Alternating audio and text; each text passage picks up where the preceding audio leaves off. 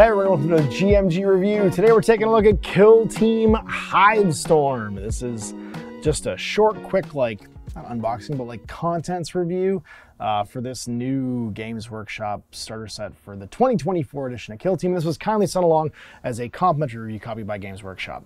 So, what is in this box? Well, having built and painted everything that came in here in the last few months, um, I'll give you a quick overview of the back here, but then I'm also going to show you everything that I've been interacting with.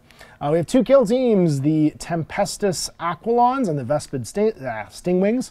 We have an equipment pack, measuring gauges, dice, tokens, and these three books right here, which I'm also reviewing today. Uh, sorry, two books. And I guess there's technically booklets in this thing right here, which is the Approved Ops card pack. We get the core book, which you'll see a separate review for, the Hivestorm dossier, which is the rules for the two kill teams, and the Approved Ops card pack. Um, and this is the actual sort of like uh, what you play for matched play as the term I'm going to use, Ca not casual match play, like match play, match play, um, which gra you graduate into out of the missions in the core book. So this book contains the core mechanics for the game, as well as rules for multiplayer ops and joint ops, which is two other ways of playing. One is solo and cooperative, one is like with a, a large group of people going head to head. Um, and then you get preliminary ops, which is a scaled down version of what's in here. It's just focused on the kill grade, which is kill points, um, or kill score, and then your um, critical op, which is like a primary mission based upon where the objectives are placed. Um, so in this box, you really do get everything that you need to play.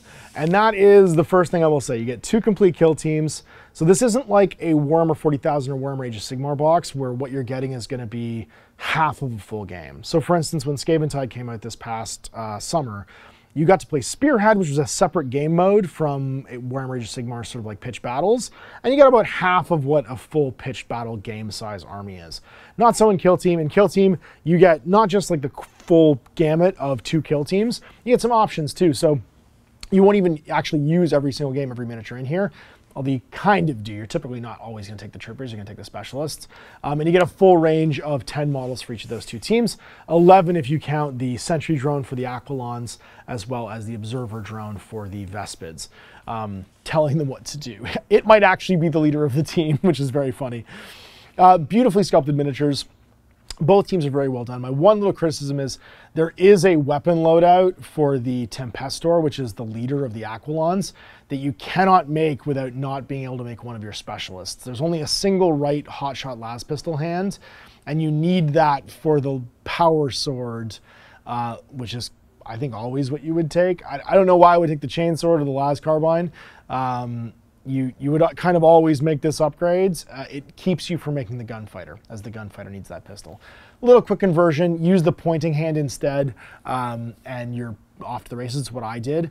But if you follow the instructions in here for making, which you make that model first, if you were to make the power sword miniature, which is the one pictured in this book, um, if you look right here, you can see this is the one pictured.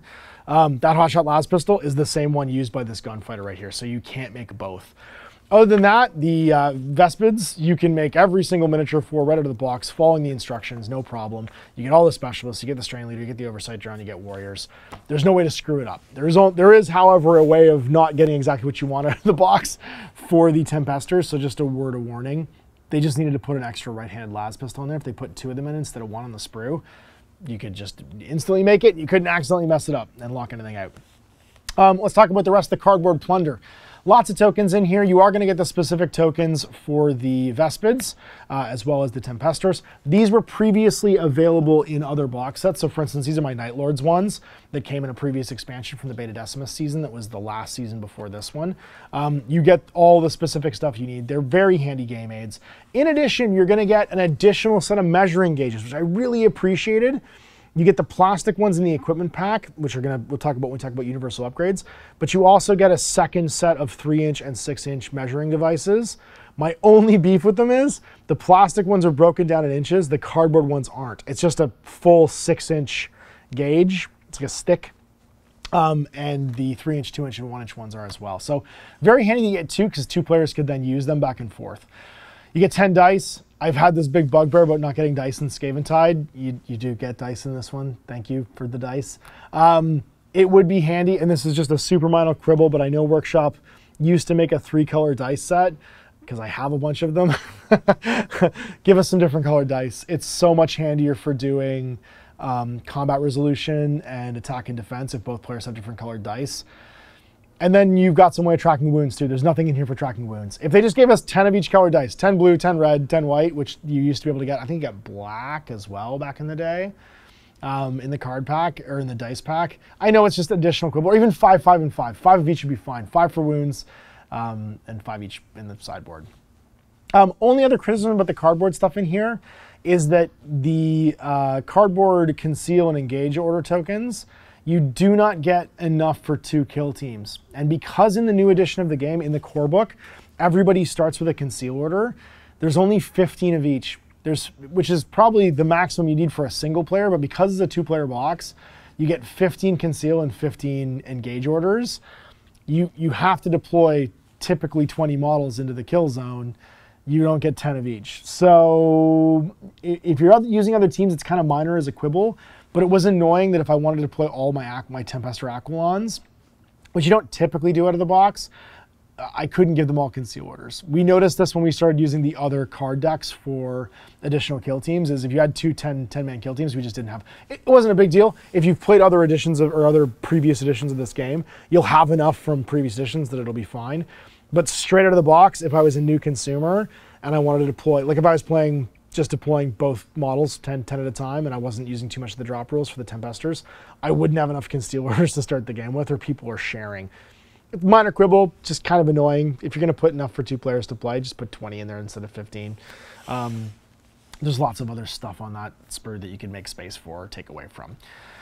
Uh, and then let's talk about the terrain itself. Man, the thing I appreciated the most about this Volkus terrain kit is the fact that I did not have to spend 10,000 years building it. Ugh. It didn't require a ton of clipping, didn't require a ton of cleaning. I think each of those buildings only comes in like eight pieces.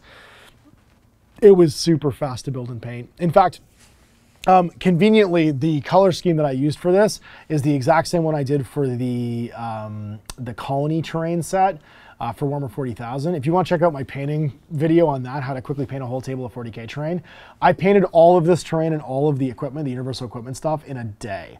I think I built it all in under an hour and a half and then rattle canning it, I, I painted everything in like a day and it looks tremendously good. Like I'm super happy with it. And weirdly, the way I painted it too, I perfectly matched the board it came with. And that was completely unintentional. I was just doing it a way I'd already done the rest of my 40K terrain. It completely perfectly matches the Volkus Kill Zone board that comes in here, which you can check out, um, again, in a different video if you want to go check out how I painted a, a table with the 40K terrain in a day. Um, and I think for contents, that's really it. Uh, you can check out the other reviews today for the core book, the Hivestorm dossier, and the approved ops card pack, which are separately as separate videos. I kind of divided all this and divided to conquer to make this my brain be more focused on each of these. But holistically, as a whole, I love the fact that this is a complete game experience in a box. Um, it gives you everything you need for both sides to play. My quibbles are pretty minor because it does. There, there's a better way of doing some of the things like the different colored dice or having enough conceal orders. But what it does, it does really well. Um, and the price point's not bad for the amount of terrain and miniatures you get in this box. You get 22 individual like trooper size miniatures, something like 25 pieces of like really cool themed scatter 40k stuff with the universal upgrades, and then you get four big buildings, uh, two corners, and tons of scatter. That's really easy to build and paint, but looks really attractive. I'm really hoping that over the course of this season we get three more box sets set in Volkus that gives me like, give me a crashed truck. Give me some vehicles. Make this feel lived in. Because so far, this Volkus terrain set is really nice. I would love like a crashed vehicle, um, a crashed like lander, even an intact lander. I think would be really cool. There's so much you could do, which they did last season with Beta Decima, to add like a thing and two new kill teams for the remainder of this season. I'm imagining we're to get these quarterly. That seems to be what we did with the last season. So there's probably three more boxes coming out to round out the season of, of you know eight kill teams plus terrain. Three big, cool, chunky pieces of current terrain set in Volkus, I think would be amazing. So um, I'm really excited to see what they do with this in the future. This is 280 bucks Canadian. So this is me guesstimating. I'm guessing it's going to be roughly 250 US down to mm, for UK maybe 180, 160, 175 or something like that. So in with the experience provided, it's high. It's more than the last one was, but because it's a whole experience and because it's the full game size, I do think it's a fairly reasonable price considering the current price structure at 40k. And when you compare it to the knock-on price of like, if I want to add another team, it's like 70 bucks Canadian. I buy a box, I play a game, I'm, I'm, my army's done. You know what I mean? Um, and this is a really satisfying way to engage the 40k universe at this level. Uh, I just want to see more interesting stuff. Like this is the complete head-to-head experience kind of in this game box. I want to see more of the bespoke like RPG stuff. Give me a Spec Ops book. I was disappointed there wasn't more joint ops and multiplayer ops stuff in here. I want a Spec Ops book. I want more joint operations. I want my D&D modules is what I want. I want added story level things that aren't just like a three mission narrative, you know, little blurb like what we got in the Hivestorm dossier. So check out the reviews for the remainder of stuff in here. Whole like whole box value three books, card deck, two kill teams, whole table worth of terrain, which is actually a decent 40k terrain collection too, if you're looking at it just from a 40k point of view, for 280 bucks and lots of replay value. I think this is the best box they've produced in a while. I think this and the mid-tier starter set for Age of Sigmar are the two best box sets they've made in a long time, value for money. Um, and I'm excited to play more of it. So anyway, big thanks for watching. Check out all the other reviews that are coming out today because there is a ton. The next time I'm Ash.